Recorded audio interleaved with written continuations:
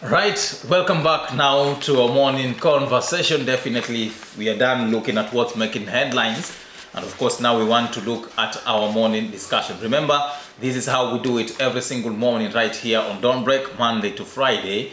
After we are done at looking at what's making headlines in the papers, then we find a topic that is of relevance to you and uh, try and uh, get some bit of experts to have uh, us share some bit of uh, digging deeper into those matters and those discussions. And today we want to look at um, a matter that has been there, education matter, so to speak, about. Uh, we are told that currently the government, through the Ministry of Education, is thinking to have the return of corporal punishment in our schools. This is after um, close to how many years in counting now? 21 since 2001. We've uh, it was when it was banned, but now there is a calls to have it be returned to schools. Is it even of necessi- uh, necessity to have it been returned currently? And uh, how then can it be imposed? Those are some of the questions that I'll be trying to find answers for you together with uh, my guest, Mr. Baraza here, quite often, who is uh, quite often right here on Tawala TV to try and uh, have a discussion and dig deeper into that matter. Good morning, Mwalimu. Yes, morning. Good to see you. Thank you. Right. Um, looking at uh, the situation that we have currently in our schools, before even coming coming back to look at uh, the corporal punishment issue, we have some bit of um, a situation in our schools. Looking at the increased number of arson attacks and uh, cases that we are having in our schools, uh, paints some bit of a different picture. We've had um, uh, students stabbing uh, teachers here and there. Indiscipline cases have increased so far. What would you say is the reason as to why all this is happening currently? I think uh, all these things are happening in hmm. schools Right. simply because we had some a break. Right. And this break was a little bit quite long. Mm-hmm. So taking these kids back to school and recuperating back their mind to what they're supposed to be doing, mm. it requires time. Mm-hmm. So these are the things most of the schools anticipated they are going to happen in schools. Mm-hmm. So it's just a matter of looking at the kids, looking at the students, and do what is good for them. Right. Yeah. But of course, then, um, so in, in a nutshell, you're saying the longer the break we had is uh, the cause of what this problem that we're currently facing. Exactly. Because you find some of these kids, they had already started to do the, their work. Right. So if you bring them to school, contain them like you're going to be here for certain and ABCD hours, Mm-hmm. for them maybe they're looking for something to do outside, obviously they have to resist. Yeah. Mm-hmm. Right. Then the problem will start from there. The problem start from there. Yeah. And of course, um, what then do you think needs to be done? On the issue of discipline, discipline is a collective bargain Mm. from the parents, students themselves, and the teachers at school. Right. So if you're going to have a collective bargain as a body, then at the end of the day, everything is going to be contained. Right. Yeah. Definitely, at the end of the day, everything else is going to be contained. Those are some of the words of my guest. That is a nutshell. But remember, we'd like to engage you into our discussion. As usual, there's that number below your screen. What do you think about the return of corporal punishment in our schools? Share your comments via the social media platform as well. It's Facebook, Tawala Facebook. Like the page, then drop your comment as we proceed. I'll be trying and looking into some of your comments. But coming back, Mwalimu, to the corporal punishment issue now. It's 21 years since when it was banned way back in 2001. Exactly. But um, most of us, maybe we don't understand. You having been into this field of uh, teaching for quite uh, long, what would you say was some of the reasons that prompted the government then to ban uh, corporal punishment in our schools? I think um, it was a cry from the international laws of the schools when they said it's a little bit dehumanizing the students. Right. It brings that torture, physical torture to the students. You see, psychological. This thing, I think they said this has to come to, to, to a stop. Mm-hmm. Because you find if you are caning somebody, you're inflicting pain to this person. Right. So at the end of the day, somebody have inflicted pain to, again, you want to go and teach the same person. Mm-hmm. So you find that stigma start to be there. And some of these kids we are teaching right now, some of them are above 18 years. Right. You see? So this is an adult. So you are putting an adult down, you are caning an adult. Mm-hmm. So we need to have a more of talk than a more of caning. Right. Yeah. The question now begs should we return corporal punishment in our schools? I don't think to be a good idea.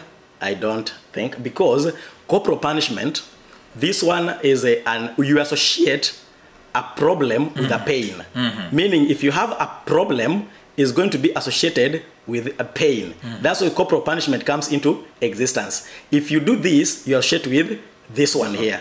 You see? So if a kid is going to misbehave, Right. then at the end of the day, what is required is the pain. Right. That's why corporal punishment was injected in in schools. Mm. But uh, Bwana Shadrach, what I can say, if you want to create a bad society tomorrow, then you introduce again corporal punishment in the mm. society. Right. Because we have this issue of gender violence. You see, if you're going to be brought up knowing that maybe at the end of the day, if somebody does a mistake, then what associated with a, a mistake is a pain. Mm-hmm. We are going to lose the society. Right. Yeah. But of course, uh, looking into the Bible, I, was, uh, I, I met a teacher and they quoted, he quoted some bit of a verse saying, "Spare the rod, spoil the child." You know.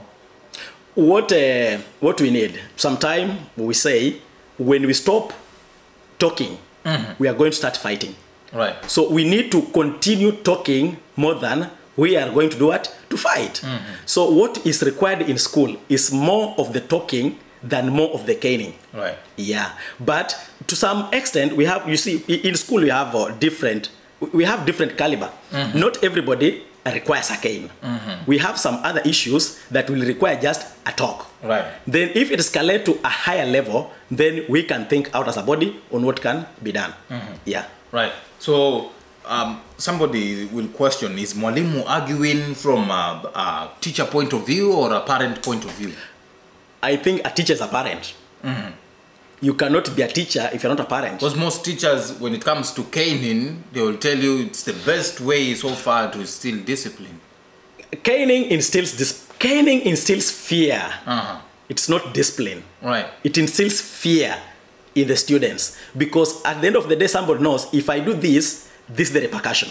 This is the effect of this one so it instills fear you may be teaching people you think they're respecting you but they're fearing you Right. exactly So you, you- the ones who came about with this um, proposal was uh, the CS himself. I had him speak about that matter, and he stated, he stated that uh, it's high time that we should bring the corporal punishment in our schools. And even he gave out uh, in the expounded, expounded uh, father saying that uh, the uh, the boy child should be caned at the back, then the girl child should be caned at their hands. You see, maybe to at the level at which this talk has come into now, it clearly shows that uh, it's a done deal. The corporal punishment is on the way coming. it can be on the way coming but uh, a punishment in terms of caning i think is not a good idea Right. it is not because uh, at the end of the day we have some teachers you may be in the name of you are punishing or you are caning mm-hmm. at the end of the day you never know the eventuality that comes out with the caning Right. sometimes the intention can be good mm-hmm. but the outcome is bad mm-hmm. maybe you are caning a girl on the hand sawa sawa Right. all of a sudden maybe you want to cane the upper part of the hand this girl turns the hand On the other side. in the course. Then you are going to cane on this other and these upper bones here. Right. At the end of the day, you'll find the hand is swelling. Then at the end of the day, this can be a court case. True. Yeah. Right. Of course. Now the question now is, if at all we want to bring back the corporal punishment, how do you feel? How do you think it needs to be enforced? I think uh, if it's going to come back, it has to be highly regulated, especially by the principals. Because even CS said the teachers and the principals of the schools are supposed to be responsible for anything that's going in the school. Right. So if the corporal punishment can be brought back in our schools, then the best thing that can be done in our schools, I think it's highly to be regulated. Mm -hmm. And this is high to be monitored by the principals. Because some of the teachers, we have teachers who are short-tempered, we have those one who are high-tempered, we have those one who are sira ni nyingi. So in the course of caning a kid, injury can just come at a very high cost. Right. Yeah. But then, um, looking at uh, 2001 when it was uh, banned, and uh, looking into 2021 where we want to see reintroduce the corporal punishment, somebody will say that maybe the government uh, rushes on making decisions that maybe to some, um, when you see it from a different angle, will come and haunt us mm, a few years back, a few years later, so to speak. Yeah, I think uh, good leadership, you don't wait for the crisis. you don't wait for the crisis. Mm-hmm. So if you look at uh, what the CS is doing, is trying to look at the banning of schools. Right. Then you introduce the caning. Mm-hmm. Banning of schools is very different from caning. Mm-hmm. You see, what instigate a kid to go and ban a school? Caning cannot do anything to such a, a behavior. You see, this is a criminal offense. It's totally criminal. So let us not be people who are proactive to the problems. Let us be people who are active to the problems. Let us try to instigate what's likely to happen in the future, then we try to prevent as early before it happens. Mm-hmm. This issue of banning schools, it's not just happening only this year. It is something that has been there for quite, True, yeah. quite, quite long. Mm-hmm. Almost mm-hmm. each and every year, people are banning up schools. Each and every year, people are banning up schools. Each and every year, people ban up the schools. The question is why? Is it because cane was removed from the schools? No. Then what should be done? Why are they banning? Now that's where the research should be done in totality. Why each and every year students go on rampage to ban the schools? Right. Yeah. Definitely quite some bit of a challenge there to the government. But then, um, would you say that we've wasted this number of years? That that's why we have this kind of situation currently facing our kids, cases of indiscipline. Our kids have become so rowdy simply because we don't instill discipline as much as it needed. It's needed in our schools. You see, there is a lot that has to be done. Mm. Even if you just come to Coast itself and where I teach, the area where I live, where we live Right. in the society that we are living in, you find one of the biggest problem, especially just in the coast region, are drugs. Mm. You see, you have you, you find that miraa is becoming a norm. Something just you find on the road, mm-hmm. and nobody is lamenting, nobody is condemning. Mm-hmm. muguka is becoming a norm. Nobody's lamenting and nobody's commenting. Mm. Now you find this one has entrenched in our schools, whereby the students we are teaching, the kids that we are teaching in schools, they are using these stuffs. Right. Then if you're using these stuffs, at the end of the day, I'm telling you, Bwana Shadrach, Definitely. the schools are going to be banned if we don't do something about these issues. Uh-huh. Yeah. Right. I was in a, a, a function. We were having uh, the the member of parliament was speaking about the issue concerning the Miran Mugukas, and they say that something also needs to be done. I think that is a conversation we should also be having. But of course, uh, wrapping up on the issue about the corporal punishment. Um, You've spoken about collective bargaining, at the parents, the teachers, and the students. But most of people will say, we as the parents at home we instill discipline to our kids. You see, at home, definitely the parent will take even a muiko and hit the kid. But if at all now you teachers, you say that it's a collective responsibility, you're confusing us, you know. How is it supposed to be done there? I I think um, by the time I was in school, mm-hmm. those back years, Right, you see, mm-hmm. my parent used to visit the school. Right, oftenly. Mm-hmm. To know my conduct and what I'm doing in the school, to get an update report.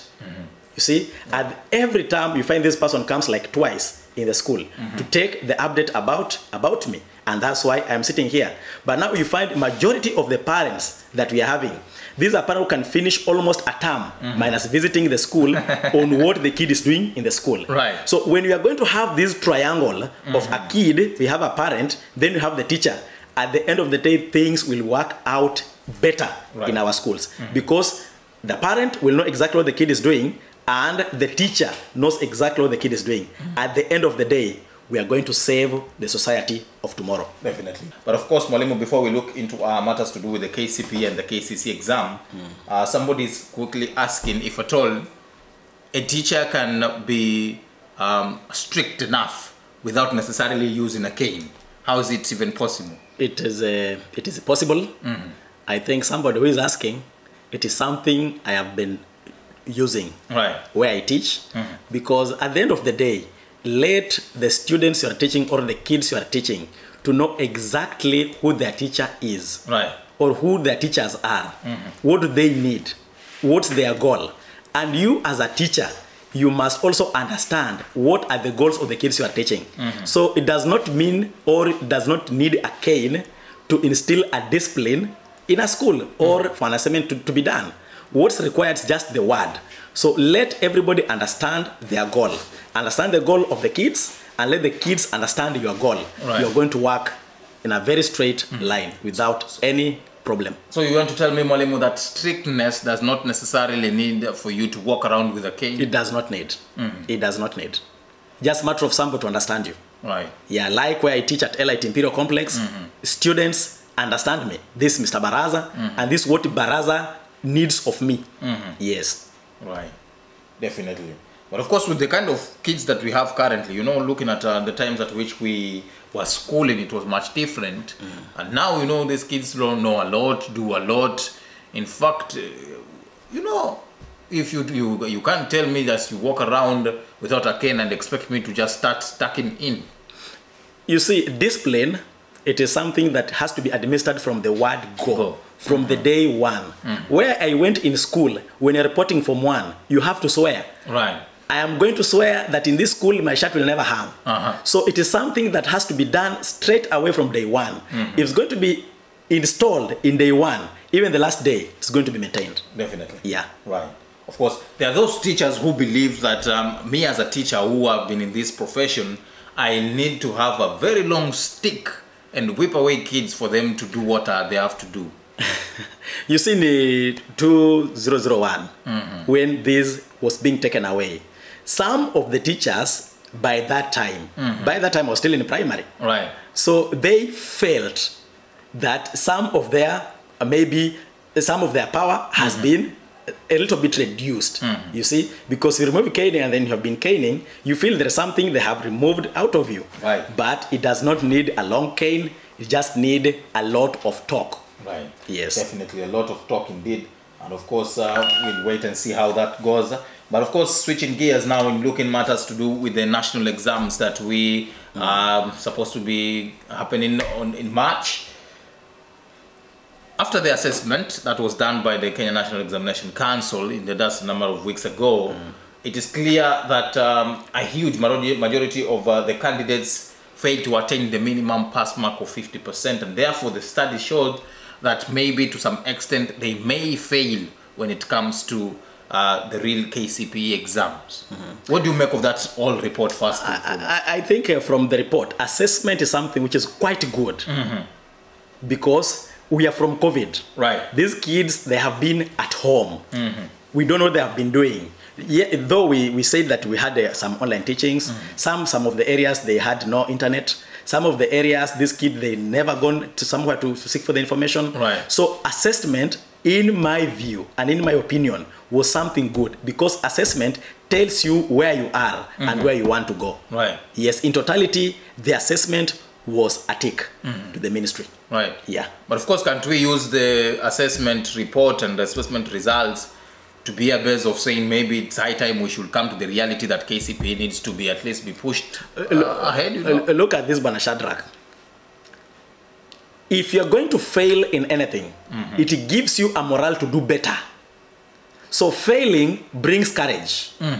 I'm 100% sure even the exams we are going to do, these kids are going to pass. Because we have realized the mistake as teachers, this is where the mistake is. Maths has a problem of ABCD. English has a problem. So we concentrate on the area of the weakness to better the result. So I am confident that the results ahead of us mm-hmm. are going to even to be much better than those other years. With the time that is remaining, Mwalimu, you know, it's much. It, it, it, it, it, is, it is doable. Mm-hmm. It is doable. We have the candidates in our school and we are working around the clock to ensure everything has to go as planned Right. because the timetable cannot change. Yeah. Yes. Mwalimu, KNEC comprises of uh, uh, very serious stakeholders in matters to do with education. And if at all they've come up with such, um, um, let me say, a proposal, uh, such a thinking of saying uh, it's high time we should postpone the examination, don't you think they have some sense in that?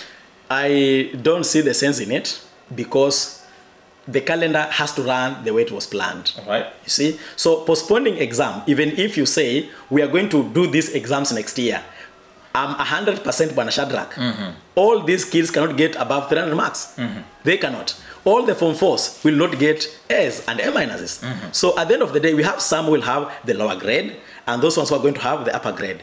But at the end of the day, let the calendar run as it was planned. Right. Yeah. Let the calendar run as it was planned. But of course, um, um, if you were to speak now to the kids, you know, yesterday I saw um, the CS also speaking to the kids, Yeah. telling them that ignore the newspapers and ignore the news on TV and radios. You concentrate with your studies. Make sure you do your best. What would you say to them? I think uh, to the kids who are watching, I think failing brings another step of life. Right. It brings correction in life. Mm. So failing does not mean that your life is ending there. So if you have failed the first assessment, this one gives you a morale booster that I can do better in the coming exam. Mm. So to the kids who are watching, I just reiterate the words of the of the CS that even the forthcoming exam, which is ahead of us, Right. they are going to do much better because we have realized where the weakness is, and through those weaknesses, now we can do much better for the time which is remaining. So I just ask them to read, to be focused, and to tackle the exams ahead of them. Right. We have a month to go before we sit for exam, if I'm not wrong, some weeks yeah. to go. Right. Um, you as a teacher, which is a little secret that you need to have in making sure that uh, now that you know that the assessment you had performed poorly and you're looking forward to perform better in the real exam now, what exactly do you need to do? I think uh, what is required is just to boost the morale of the students, mm -hmm. to boost the morals of these pupils who are in primary. Sawa sawa, that though we have performed poorly in this, but we have to do much better. I think frequent exams to these kids mm-hmm. will work out much better mm-hmm. if we can frequent exams to Right. them mm-hmm. then to make sure that at the end of the day what they're doing we are examining what they're doing we are seeing what they're doing at the end of the day it's going to work out let us just ra- work around the clock as teachers let us ensure we give best to our kids at the end of the day i know we are going to have a good and better results Right. And we all hope that once the results are out, come KCPE, the results are out, mm. will not start blaming and say, you see, we told you, you should uh, postpone, you see. No. know? I think there will be no blames mm-hmm. because what I understand, like uh, when Matiangi took over the, the ministry, Right. we had only 12 A's in the country, mm-hmm. but it never stopped people to learn. So learning does not mean necessarily that everybody has to get an A. Right. Even if you get a D plus, you get a C minus, mm. you get a B, still you will continue to learn. That's why we have certificate, we have diploma, we have degree, we have so it is a continuous process. Mm-hmm. So whether you get, we have some people who are professors, but they started from a certificate. Mm-hmm. We know them. We have Nyongo. You ask Nyongo, right. what did he get in high school? Then right now we call him a professor. So he's going to tell you that learning is a continuous process. Whether you have an E, you have an A, you have a B, as long as you have that courage and morale that this is what I need, this is where I want to go, you will go to where I want. And the sky Definitely. Right. Looking at the uh, page 8 of the standard this morning talks about uh, uh, quite an issue here that is uh, we need to discuss a little bit. Learners to know their fate of KCPE exams today as um, uh, if at all the proposals are to be adopted. Remember there is this report that uh, recommends learners to sit school-based assessments instead of national examinations. What do you think about that? I Should we do away with the KCPE and KCSE examinations and have school-based assessments? I think we are changing the curriculum. So it is something that people must be aware of. We are on CBC, competence curriculums, the one, the one we are doing, True. isn't it? Yeah. We are deviating away from this issue of KCPE because the current system that we have, mm-hmm. it's only a system based on the performance. You see, if you get this, you'll end up to a university. If you mm-hmm. get this, you'll end up to an ABCD place. Yeah. But now the system we are changing to, mm-hmm. it is totally based on the learners. You see, so I think it's a, a better system. We will go that way. Right. Yeah. Looking at the school-based assessments, do you feel it will be over the same standard and quality as it um, over the next thing, the KCPE and the I- I- KCSE? I- in fact, it's going to be much better. Because uh, I, I may give you an example. When Matiangi said that now let the principals be in charge of the exams Right. in the centers, you saw that um, uh, cheating of exams deteriorated from almost 90% to, to 10%. Meaning, if we leave these issues to school, teachers are going to be in a better position to administer the exam than a foreign body. Right. Yeah. Do you feel maybe it will be administered uh, as it should be? A hundred percent. It's going to be administered. Right. Yes. Definitely. Another proposal in the same uh, uh, report talks about um, that um, boarding schools should be abolished in junior secondary schools. I think uh, we must, uh, people who propose such uh, issues, they forget that we are living in a changing world. These are things we can will never and we cannot go away with them. Boarding schools will live, will exist with us, and will be there forever. Right. Because we need these boarding schools. We have those parents who need these boarding schools. Not every parent needs a boarding school. We have those ones who need day school. We have those ones who need boarding schools. Right. So let the preference of a parent take the course. Right. So let us have this boarding, even the junior school. Right. Yeah. But people looking at the incidents that we've had in discipline cases that we've quite, quite witnessed, most of them happen happens in uh, the boarding schools, and people will think maybe there's some bit of uh, we need to look into this matter so seriously. There is need to have these boarding schools now turned into a day school simply because the, the the students may go at home have some talks with their parents. The, the frequent communication with the parent, and frequent, you know, I think uh, Bwana Shadrach, an evil mind remains an evil mind. Even if you whether go, in day school or boarding school. an evil mind remains an evil mind. Right. So whether you're at home Uh-huh. or at a school, still the same thing can happen. The same thing will happen. right. Yes. So what we need, because uh, uh, teachers who are in schools, they're also parents. Mm -hmm. So what we need is just a triangle, a format of a triangle. Let the parents have a constant visit, and let, let them even if it's not physical visiting, mm -hmm. but let us have even a network in a school whereby parents can acquire. Right now we have even groups. Mm-hmm. Schools have groups where parents interact with even the, the teachers in schools. Right. Why can't we create such a things, platforms in schools whereby even a parent at home can know exactly what the kid is doing at school? Right. So going away with the boarding schools does not resolve anything, but it take us backward. Does not propel us forward. Definitely. Yeah. Right. I guess we should leave it there. But last but not least,